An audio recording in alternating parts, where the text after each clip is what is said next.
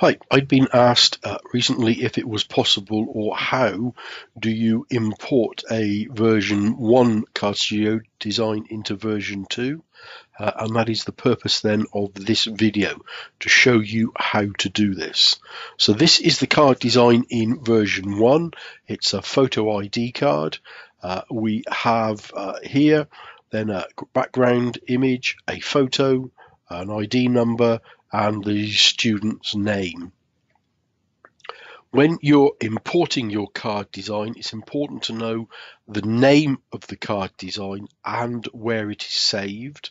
And if it is linked to a database, then the names of the fields used in the database and the location and name of the database you're actually using.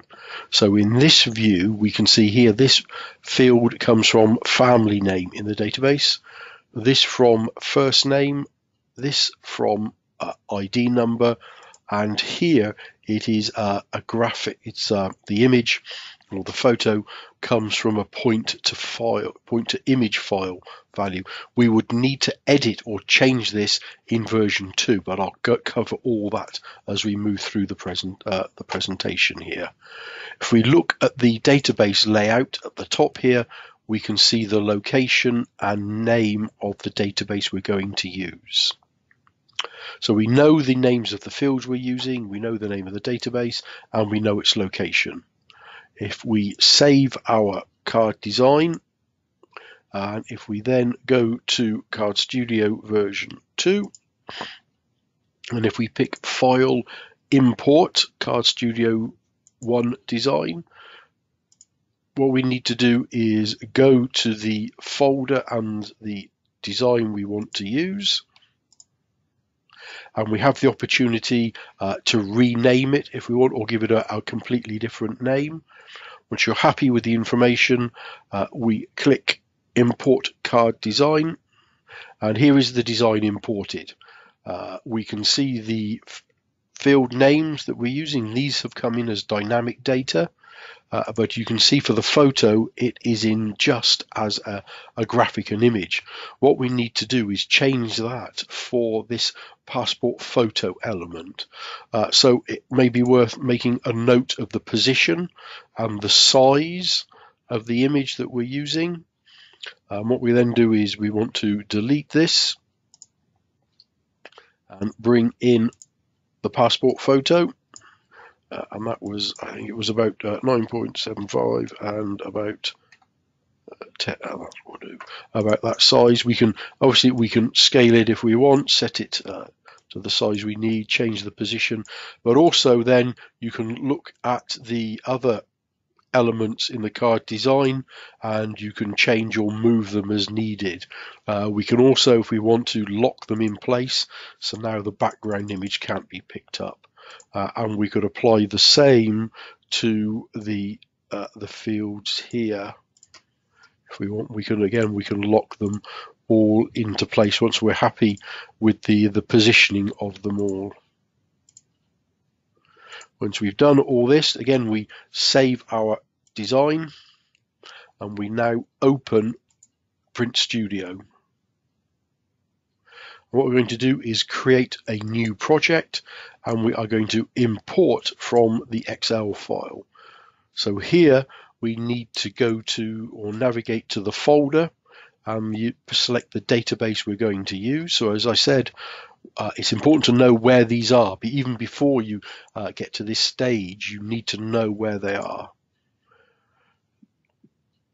We are going to use uh, image color as the file or the, the field name for the graphic and we are going to show it or tell it where all these graphics uh, are, are stored and they are all held in this folder.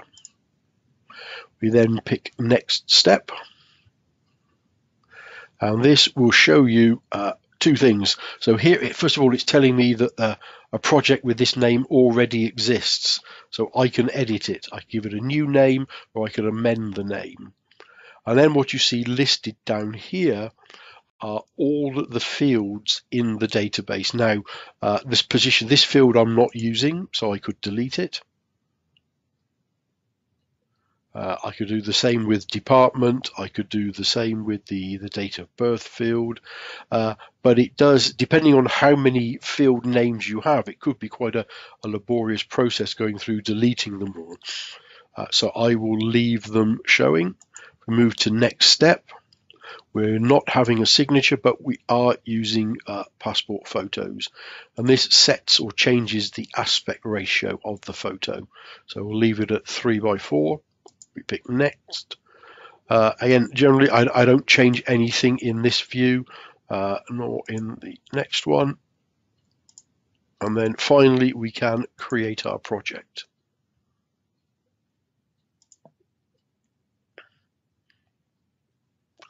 So what we have uh, listed here then are the fields and then the data or the records for each of those.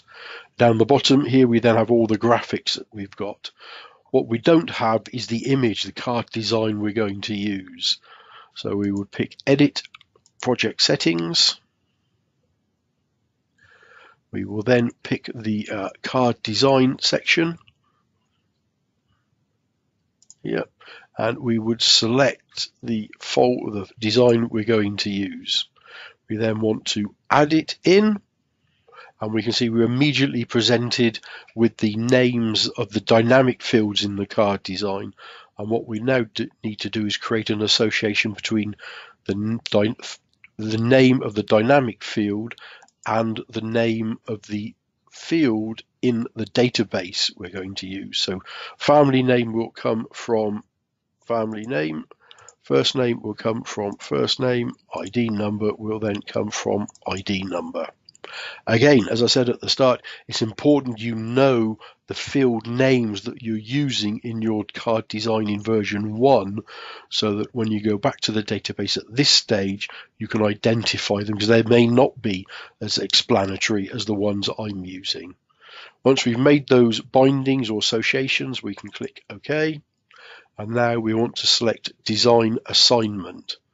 So what we're going to do is have one design for all the cards. It is possible to use different designs for different field values, uh, but that is would be a separate uh, presentation.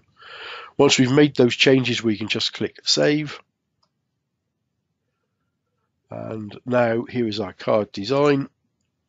So if I then pick one of the records, we can see it uh, presented here and I can pick as I pick different records then you can see the images change as we uh, go through the images and the data. Uh, the only thing that will remain after that is to print out a design just to check that everything is okay for you but we've already covered how to do that on a previous video. So thank you very much for, for listening